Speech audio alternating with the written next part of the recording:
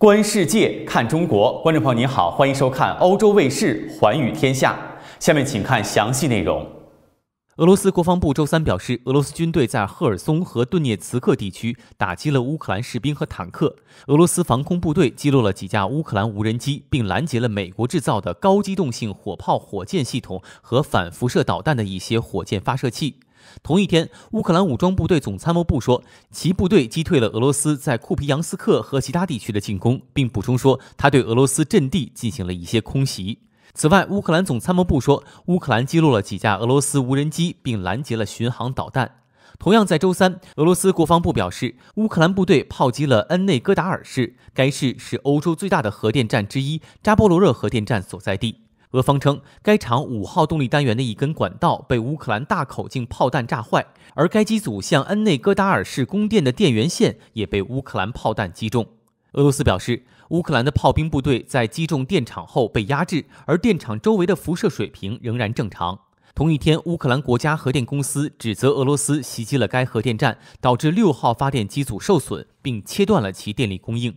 断电导致安全系统的两台柴油发电机紧急启动，以确保燃料冷却泵的运行。袭击发生后约一小时，工厂的工作人员设法恢复了六号机组的电力，而六号机组的燃油发电机则被关闭并进入待机状态。自三月初以来，该工厂一直被俄罗斯军队控制，但其乌克兰工作人员继续操作该工厂。俄罗斯和乌克兰多次指责对方炮击扎波罗热核电站。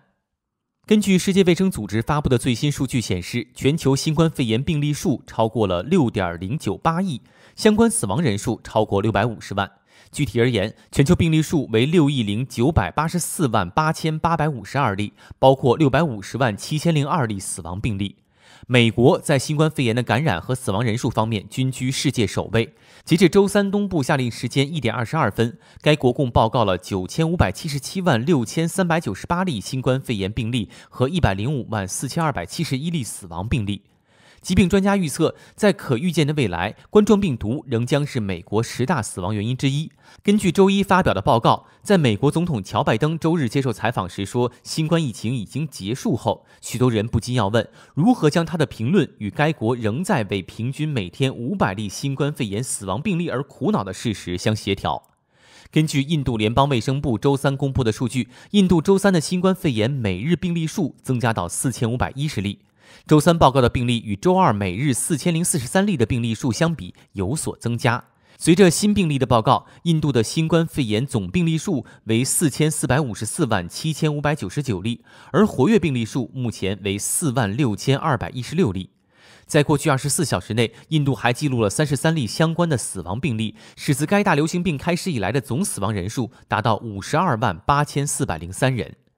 巴西卫生部周二晚间说，在过去二十四小时内，巴西报告了八千六百四十八个新的新冠肺炎病例和九十个新的死亡病例，累计起来，巴西共报告了三千四百六十万零六百七十五例冠状病毒病例和六十八万五千五百一十八例死亡病例。尽管德国的新冠肺炎病例和死亡人数不断增加，但当地周六举行了最大的民间啤酒节。这一节日之前因为新冠疫情而暂停了两年，预计将接待来自世界各地的数百万游客，并提供特制的啤酒和丰盛的特色食品，如炸香肠和猪肘。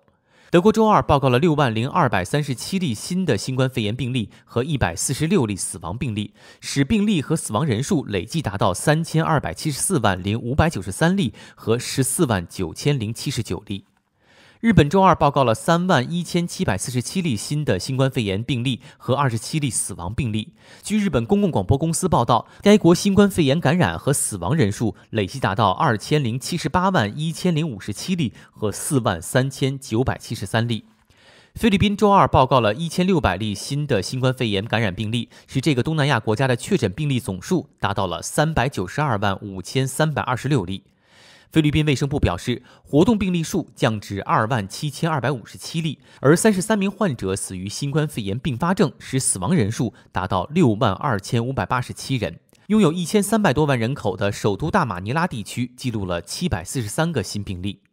马来西亚周二报告了一千六百六十七例新的新冠肺炎感染者，使全国总数达到了四百八十二万一千八百六十四人。另有七例死亡报告，将死亡人数推至三万六千三百二十四人。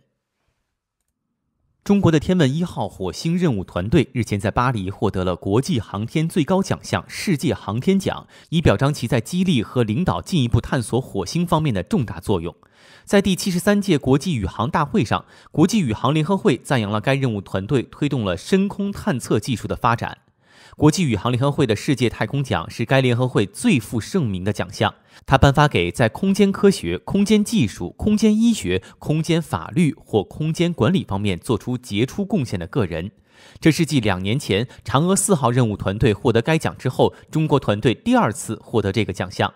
中国的问天一号任务于二零二零年七月二十三号发射，使中国能够绕行登陆和探索火星，这是第一次在一次任务中实现这三项任务。二零二一年五月二十二号，探测器离开其着陆平台，开始探索火星表面。天文一号轨道器现在在轨道上使用远程传感器收集火星及其大气层的科学数据。